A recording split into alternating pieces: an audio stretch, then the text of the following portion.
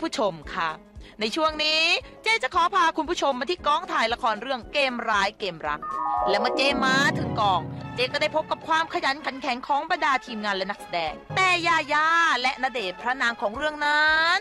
กลับไม่มีโอกาสแบบนั้นเลย เพราะจะต้องคอยเข้าฉากอยู่ตลอดเวลา เรียกได้ว่าทำงานจนแทบไม่มีเวลาได้พักผ่อน